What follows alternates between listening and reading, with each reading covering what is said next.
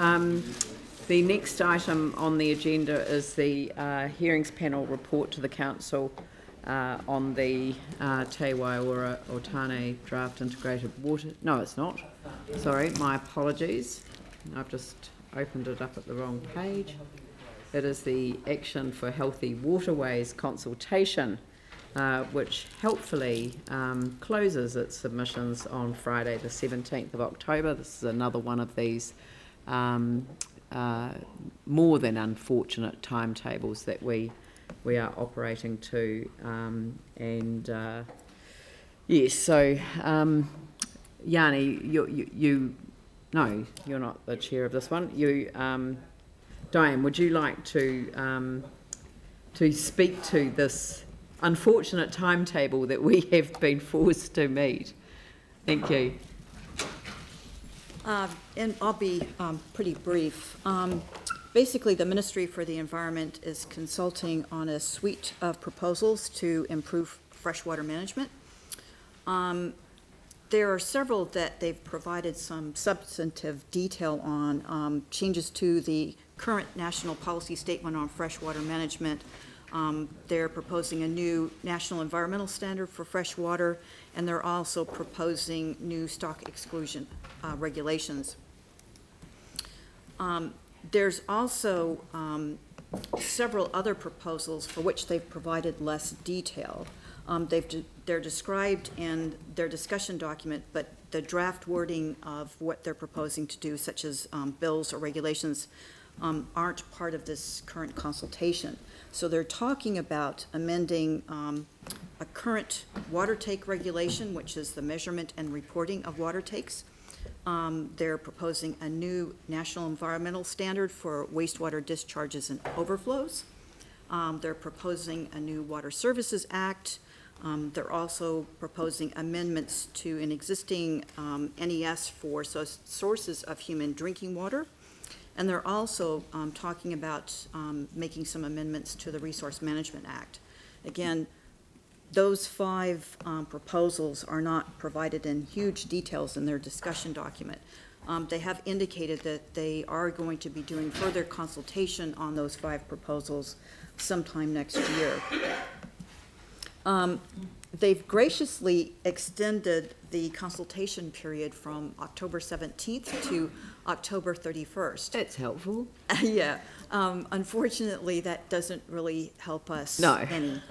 Um, or so, any other local council, I might say. Yeah.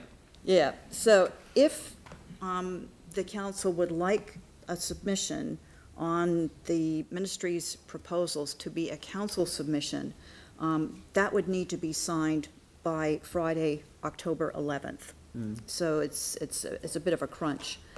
Um, the report that you have in front of you is um, requesting that, that you delegate to um, the mayor and a small number of um, your colleagues to um, basically form a submissions panel to work with, with staff to get a submission to be signed by the mayor no later than October 11th. And I, I apologize for the mistake in the report. It says Friday, October 10th. Obviously, it should be October 11th. Yeah. So, um, I mean, I, I, I kind of originally sort of had um, a provision for it to roll over afterwards, but um, would it be possible to make the submission or sign off the submission by October the 11th, uh, but also uh, acknowledge that um, that with the election, an incoming council may wish to provide additional uh, advice um, I might defer that to our legal folks, but I don't, on the face of it, I don't see why we couldn't put that in the submission. Yeah. I, I agree. You can put that note in the submission if you like. Yeah, I, I think that would be important because then then we know that we've got a submission signed off by the council uh, by delegation in the meantime. Uh, but then it does provide the opportunity for an incoming council to review that uh, relatively quickly, and assuming that the 31st of October um, is uh, a possibility in that regard, then there will be meetings of the new council um, prior to the close-off date. Yep, thank you. Uh, Vicki? I just have a question in relation to the nitrogen loss um, thing, which is on page 455. Um, a new national bottom line for nitrogen, and then uh, the nitrogen loss is also referred to. Is that covered in this act, or is that in a future act? Um, that's part of what they're proposing in, um, the new National Environmental Standard for Fresh Water. So Right. there's, there's several things that are in that NES. Um, and one of them has to do with, uh, basically with farm activities, um, Right. and nitrogen losses. So, so it is covered to some extent in, in the NES for which, um, the ministry has not only um, addressed elements in their discussion document, but they, al- they also include, as part of the consultation, a draft of that NES. Right, so should we make comments on that in this submission or in a future one?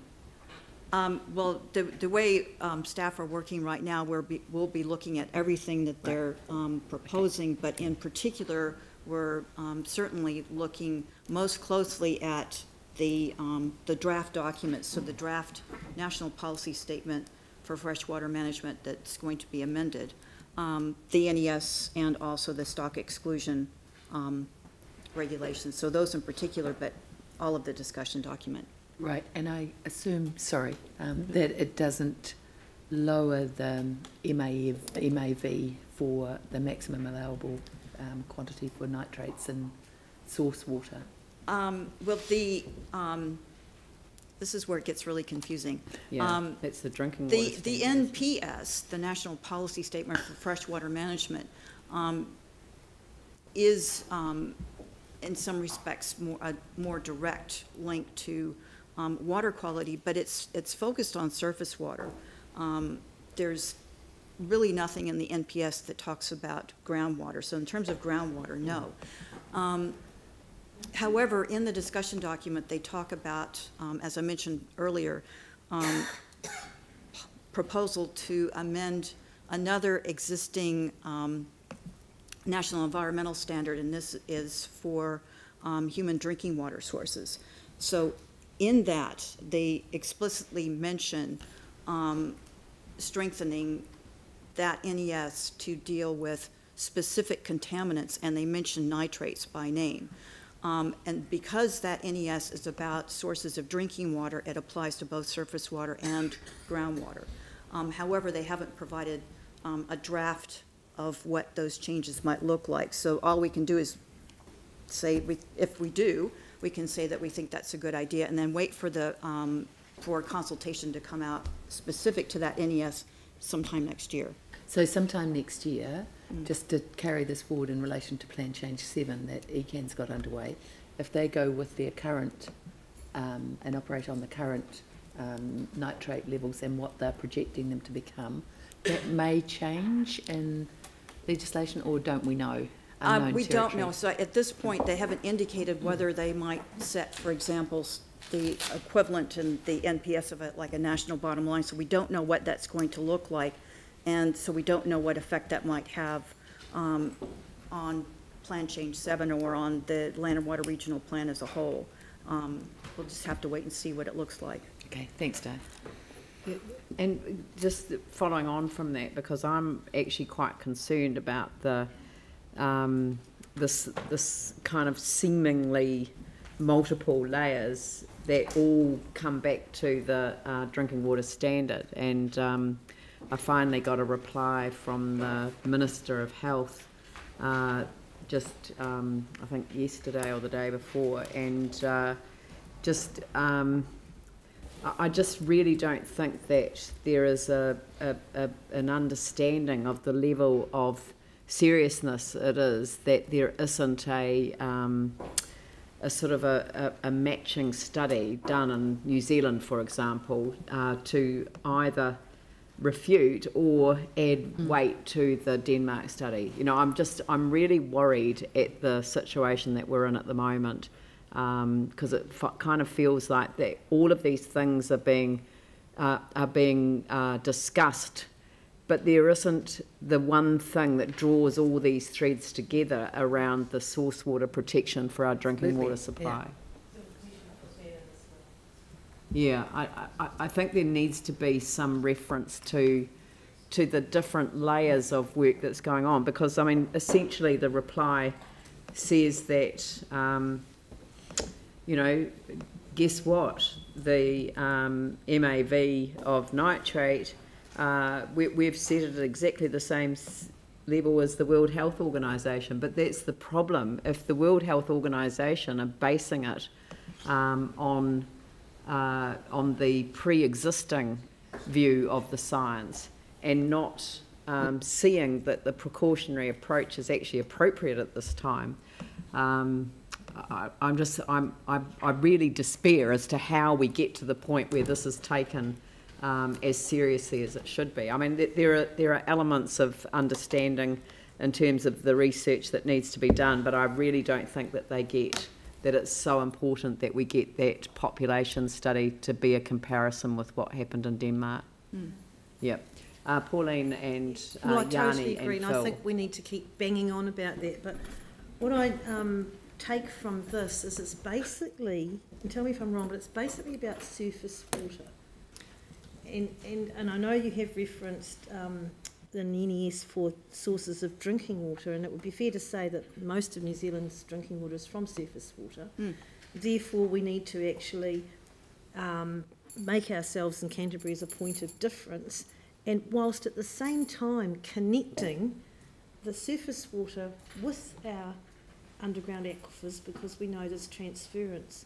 I, I think, is that fair to say? That's correct? Um, that is, they, they do mention in the discussion document where, um, regional councils are looking at, um, managing, um, catchments.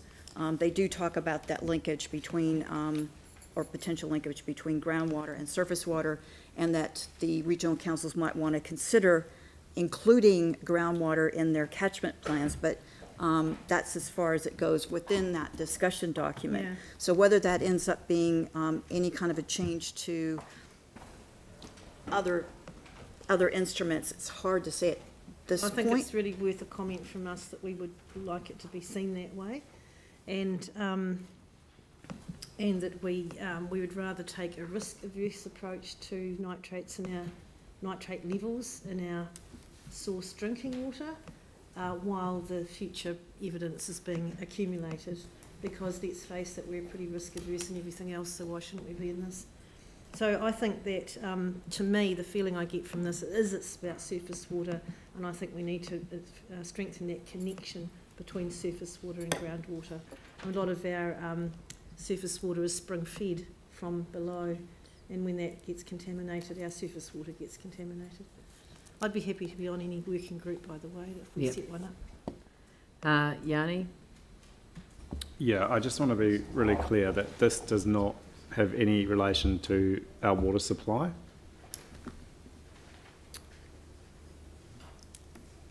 Um, We have more than one water supply um, across the, the whole of Christchurch. Do you mean the Christchurch drinking water supply? Well, yeah, I mean, I, I understand the protection of the source water for our drinking water, but e.g. the nitrate issue.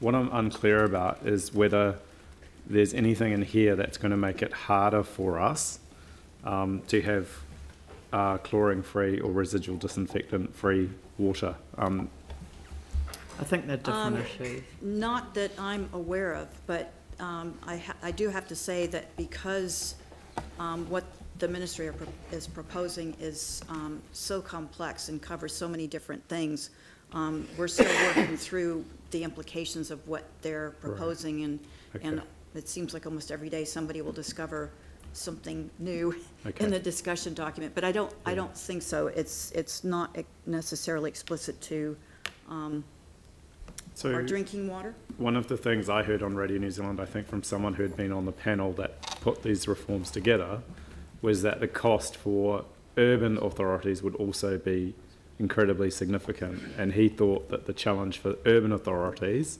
people weren't quite aware of the cost impact.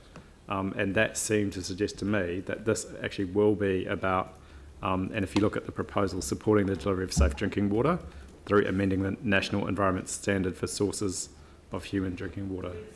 Uh, Well, they're, again, it's, they're, they're, they're basically talking about all of, all of the waters bar to, to, to some extent groundwater.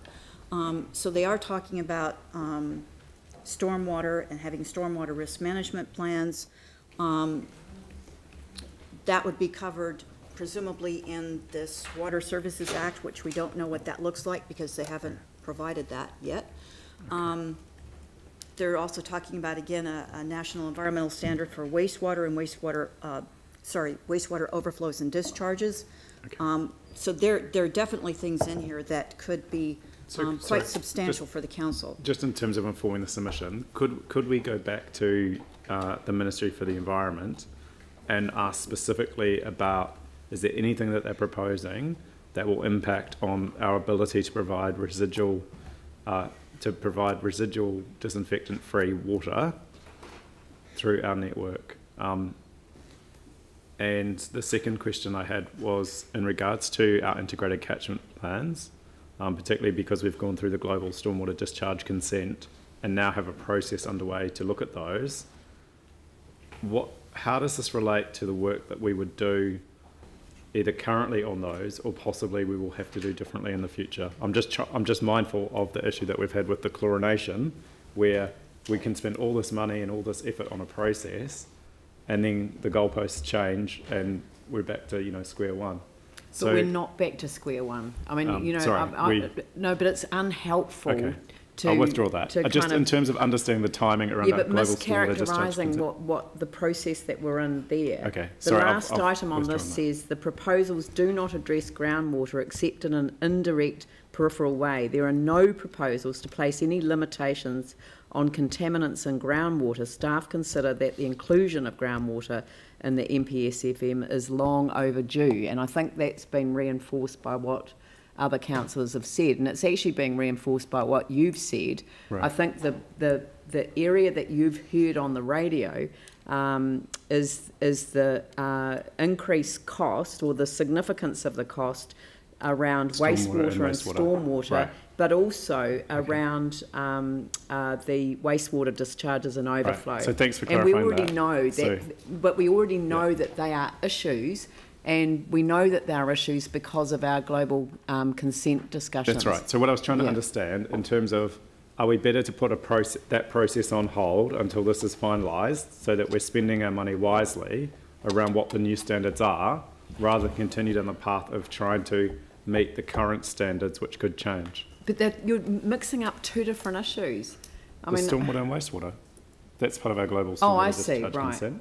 Stormwater. Yeah, um, I don't think it would be good to not do anything until the government comes Yeah. out with their, um, two things, the, the NES for wastewater overflows and discharges on the one hand, and also the Water Services Act, which, um, then would potentially have requirements around, um, stormwater. Um, whether or not we would have to do something more than what we're doing now is, we don't know. Um, it's, it's quite possible that what we're doing right now in terms of the stormwater management plans would meet the requirements that they might, um, put on the stormwater networks, um, under these other, um, instruments, but we don't, we don't know the details yet. But we're obliged to act anyway because we're Yeah. in a consent process. Yeah. So um, I've, I've got uh, Phil, I think Anne, did you have a question? No, and uh, Vicki. Thanks, Diane. Perhaps in some ways it's a pity we aren't dealing with the integrated water strategy one today too, to sort of try and get them joined up. But we're going to do that Thursday. Um, I just wanted to, just go, going back to um, the point that Vicki raised around um, nitrogen as bottom, national bottom lines, and then there's also reference to that for phosphorus and sediment too. So when we do our submission, will we, um, while this is around surface water, will we be referring clearly to what we would like to see happen in the catchment areas to pre- to prevent the, or so these net bottom lines are achieved? Um, we, yes, we will be, uh, it is our intention to make submissions on those, um, proposed new national bottom lines. Um, again, um, what's proposed in the national policy statement is, um, directed at surface water and not Yeah. groundwater. Um, but we know that things work both ways. Um, surface water can obviously influence groundwater and vice versa. particularly long term. Mm. Mm. Okay, so we'll, we'll be commenting on that, on, on, on what, on possible solutions and ways to achieve that. I'm not sure how much we would be putting that into a submission, um, given the time frame that we have, but we'll do our best. Okay, thanks Diane. Good, um, Vicki? Sorry, in attachment A, where they list, list all the things that they're going to do, including protect drinking water sources. Um, I'm assuming that's the thing that's going to come later and is not included in this. What I'm wondering, just in terms of time and the impact of uh, dairy farming or other intensive farming on the Christchurch water source, we have a report coming, or you have a report coming to um, the council in November on the possible action on a water conservation order, is that right? Um, that's my understanding unless Yeah. something changes.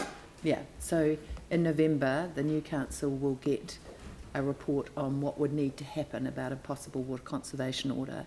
And it may well be that that's the quicker, even though they take an incredibly long time, way to look at protecting the groundwater source for our aquifer.